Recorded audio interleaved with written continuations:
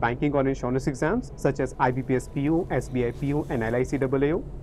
Are you confused about what to study and from where? Look no further, you're in the right place.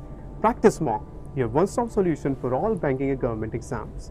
Here we provide everything you need 5000 plus mock tests, video courses, PDF courses, and interview courses. You can also access free topic wise quizzes, mini mocks, and current affairs PDFs. Get ahead of the competition by practicing 20,000 plus questions in our PDF course. Our high quality mock tests will give you the real exam experience and help you analyze your performance. Strengthen your foundation with our video courses and join the league of thousands of successful candidates. Visit www.practicemock.com or scan the QR code to download our app from the Play Store and start your journey to success. Hello everyone, welcome to Editorial Insights where we help you improve your vocabulary and comprehension skills with the help of editorials. और आज हम जो editorial पढ़ेंगे वो है जो अयोध्या में अभी टेंपल कॉन्सिक्रेट हुआ ठीक है तो उसके बारे में राम टेंपल के बारे में but before we begin if you are preparing for bank and insurance exams तो आपको एग्ज़ाम्स जो ये जो uh, जो प्रैक्टिस मॉक लेकर आपके लिए लाइव मॉक वो ज़रूर अटैम्प्ट करना है। इसी uh, इस वीक भी N I C L A ओ का जो एग्ज़ाम है वो लाइव है ठीक है? तो आप 10 पी एम तक ये मॉक uh, अटैम्प्ट कर सकते हैं आपको कल थर्सडे 10 एम आपको रिज़ल्ट मिल जाएगा। आपको अपनी ए आई आर पता चलेगी ऑल इंडिया रैंक और आप देख पाओगे कि आप कहाँ स्टैंड करते हो कॉम्पिटिशन में। तो एक हैबिट मेंटेन करने के लिए, एक रेगुलर प्रैक्टिस के लिए, ठीक है? और ये देखने के लिए कि आपको कहाँ मेहनत करने की ज़रूरत है, कौन से टॉपिक्स आपके वीक हैं। तो उसके लिए बहुत ज़रूरी है कि आप अपनी परफॉर्मेंस रेगुलर इंटरवल्स में आप जो है इवेल्यूएट करते रहे। और हर वीक आपको ये मॉक ज़रूर देना है। अभी एन का मॉक लाइव है। ठीक है तो जो भी अपकमिंग एग्ज़ाम्स होंगे, हर वीक ट्यूसडे जो है एक मॉक लाइव होगा, आपको वो ज़रूर देना है। और राइट तो we have also launch P M practice pro जिसमें पी एम बैंकिंग प्रो यानी जितने भी major bank and insurance exams हैं उन सबके मॉक टेस्ट हैं। और साथ में P M banking P D F course है uh, जो जिसमें आपको डिफरेंट डिफिकल्टी लेवल के डिफरेंट टॉपिक के क्वेश्चन मिलेंगे ताकि आप प्रैक्टिस कर सकें प्रीवियस ईयर क्वेश्चन और प्रीवियस ईयर के पैटर्न के डिफरेंट uh, क्वेश्चन हैं। तो आप वो प्रैक्टिस कर सकें and more than twenty thousand question and more than five thousand mock test हैं इस कोर्स में। एंड uh, जो आपको डिटेल्ड एक्सप्लेनेशन मिलेंगी आप अपनी परफॉर्मेंस इवेल्युएट कर सकते हैं बाकी एस्पिरेंट्स से। तो आ, आपको 20 परसेंट डिस्काउंट मिलेगा अगर आप P M twenty coupon code use करते हैं you can get it at nine nine nine only ठीक है तो बाकी डिटेल्स आप इसकी यहाँ पर आ, देख सकते हैं। और राइट तो लेट्स बिगिन ठीक है तो आज जैसा आप जानते हैं कि आ, आपको एडिटोरियल सेशन को पॉज करना है फिर एडिटोरियल रीड करना है। आ, उसके एंड में एक वो कैब बेस्ड क्वेश्चन है वो अटैम्प्ट करना है और फिर हम डिस्कस करते हैं।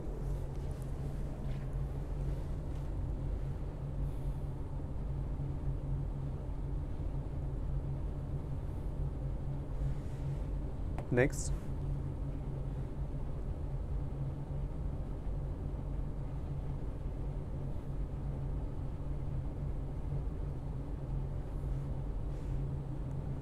Next.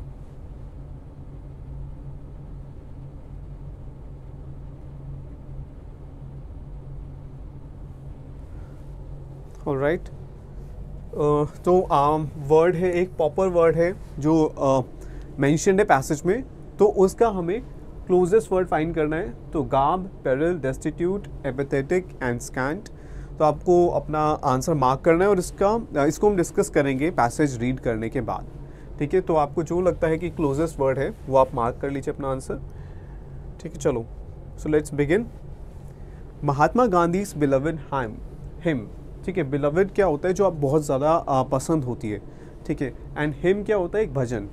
या अब आ, किसी भी रिलीजन में कोई भी कोई रिलीजियस सॉन्ग या पोम हो सकती है ठीक है तो उसे हम हिम कहते हैं। तो हम भजन कह सकते हैं। तो beloved hymn Raghupati Raghav Raja Ram patit pavan Sitaram reverberated through the precincts of the Ram temple reverberate word का मतलब क्या होता है? गूंजना ठीक है एको होना। तो आ, ये जो भजन था ये गूंज रहा था रेवरब्रेटेड गूंज रहा था।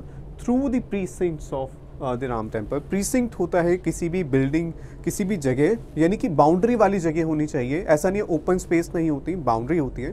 तो उसके उस, उसके बाउंड्रीज़ के अंदर कोई चीज़ कोई एक्टिविटी हो रही है। जैसे अगर उसकी बाउंड्रीज़ में ये भजन जो गूंज रहा है ठीक है तो ये, ये मतलब है इसका ठीक है? तो within the enclosed space तो राम टेंपल में इन Ayodhya during the Pran Pratishtha ceremony which was led by prime minister Narendra Modi the PM describe the consecration of Ramlalla idol as an extraordinary in historic movement consecration होता है जब आप किसी चीज़ को uh, जो है उसके साथ uh, एक रिलीजियस सेरेमनी होती है जिसके बाद uh, आप फिर बाकी रिलीजियस जो चीज़ें हैं रिलीजियस सेरेमनी से वो आप परफॉर्म कर सकते हैं पूजा कर सकते हो ये सब चीज़ें।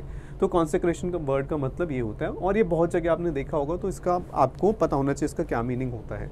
ठीक है so of the Ramlalla idol as an extraordinary and historic movement that would enrich Indian heritage and culture heritage होता है जो भी कस्टम्स हैं हमारी ठीक है जो आ, हम मतलब पीढ़ी दर पीढ़ी जो पास ऑन होती जाती हैं ट्रेडिशंस हैं हमारे तो उसके बारे में बात करें इंडियन हेरिटेज एंड कल्चर ठीक है तो वो और ज़्यादा एनरिच होगा और ज़्यादा बढ़ेगा and take the country's development journey to new heights okay it is indeed the fervent hope of the fervent का मतलब क्या होता है?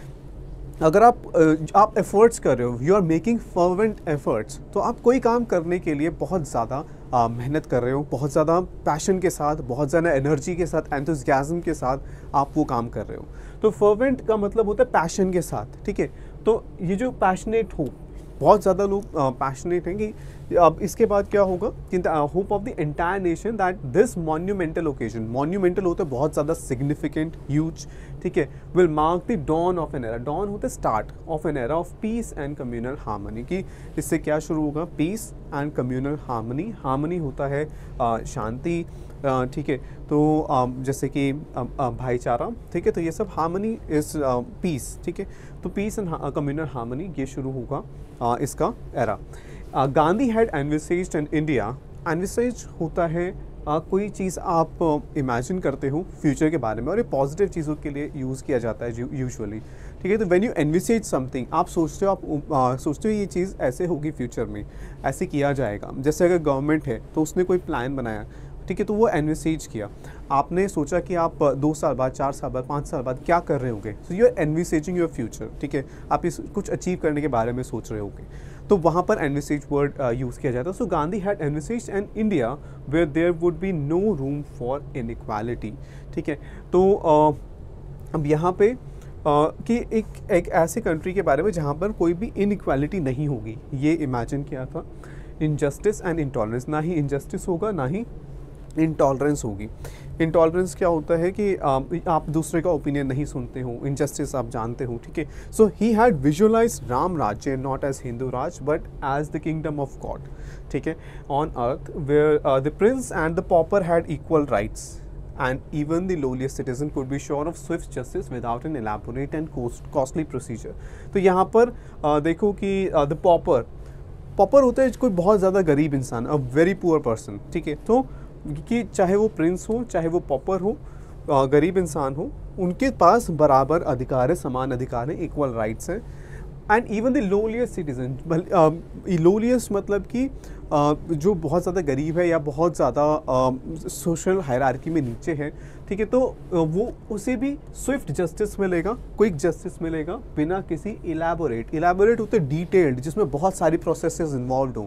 ठीक है तो आप जानते हो कि जब जस्टिस के लिए कोई पर्सन कोर्ट्स को अप्रोच करता है तो बहुत लंबा प्रोसेस होता है इलेबोरेट कम्बरसम प्रोसेस होता है, ठीक है तो वो नहीं होगा और कोई स्विफ्ट जस्टिस मिलेगा क्विक जस्टिस मिलेगा, ठीक है for him Ram and Rahim verb him किसके लिए यूज़ हुआ है? फॉर uh, प्रपोजिशन है और उसके बाद हम कौन सा ऑब्जेक्टिव केस यूज़ करेंगे प्रोनाउन का ठीक है? पर्सनल प्रोनाउन का तो हमने ही नहीं यूज़ किया हमने यूज़ किया him so for him Ram and Rahim were one and the same deity दोनों, उनके लिए राम और रहीम दोनों ही क्या थे? सेम डीटी थे। डीटी होते हैं आप गॉड कह सकते हो, ठीक है? गॉड या goddess so they were this one and the same deity my Hinduism teaches me to respect all religions Gandhi had said तो गांधी ने ये कहा था।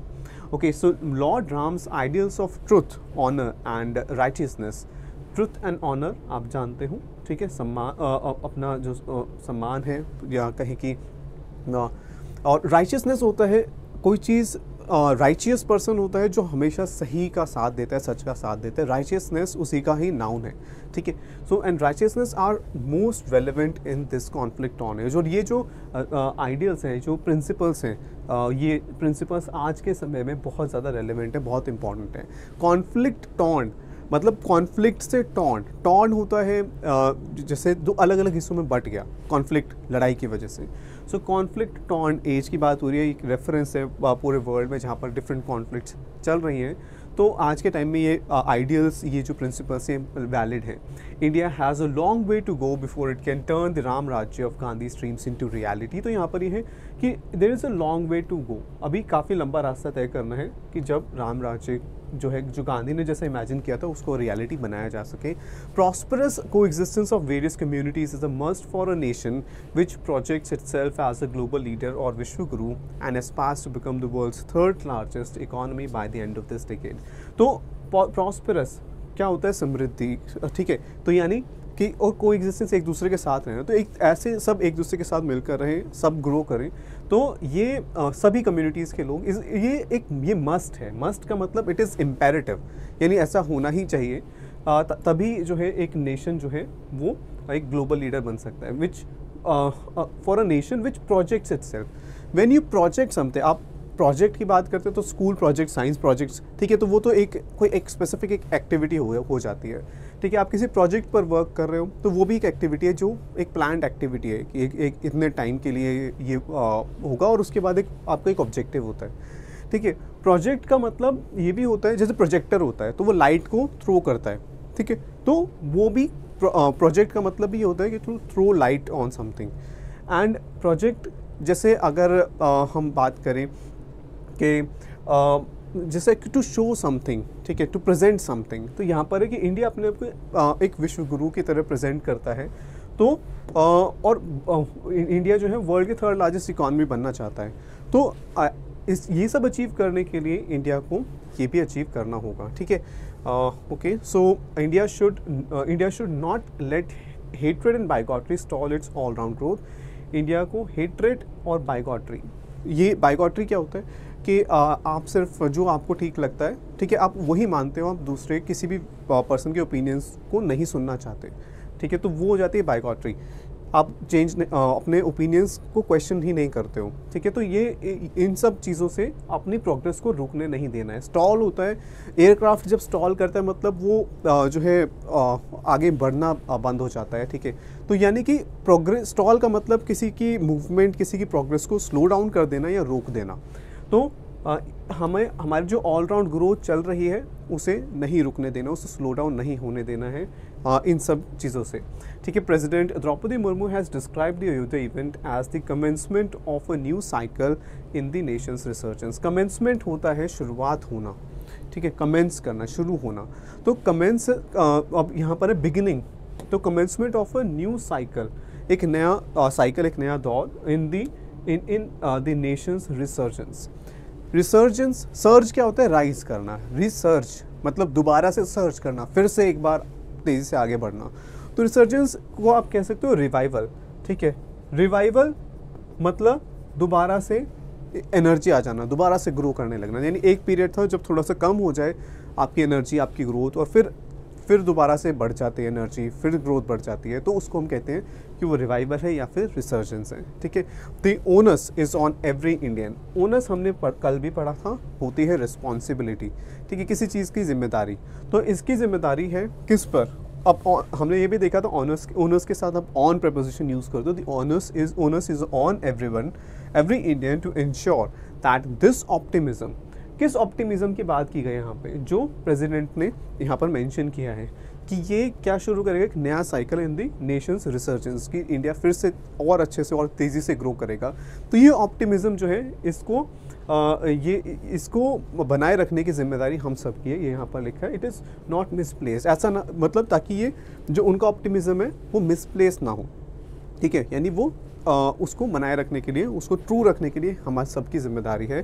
The fact that the consecration ceremony has taken place in the run up to Republic Day and Gandhi Gandhi death anniversary should spur to rededicate ourselves to the cause of protecting the constitution that celebrates diversity and inclusivity तो यहाँ पर है कि, आ, कि जैसे ये जो consecration ceremony हुई है it has taken place in the run up to run up to something होता है कोई एक इंपॉर्टेंट इवेंट कोई इंपॉर्टेंट डे से पहले का जो टाइम होता है तो अभी रिपब्लिक डे आ ही रहा है, ठीक है? तो उससे कुछ दिन पहले ही ये जो कॉन्सेक्रेशन सेरेमनी हुई है तो इन दोनों इवेंट्स से पहले, ठीक है? तो ये हमें क्या करने चाहिए? स्पर करने चाहिए। स्पर होता है जब आप किसी चीज़ को एनकरेज करते हो, ठीक है? तो यहाँ पर है कि इट शुड एनकरेज अस हमें मोटिवेट करना चाहिए कि हम अपने आप को दोबारा से डेडिकेट कर दें। किस चीज़ के लिए? डेडिकेट आर सेल्फ के बाद प्रपोजिशन यूज़ होती है। डेडिकेट किसी भी चीज़ को डेडिकेट करते हैं तो उसके यहाँ टू प्रपोजिशन यूज़ की जाती है। तो to dedicate our to the cause of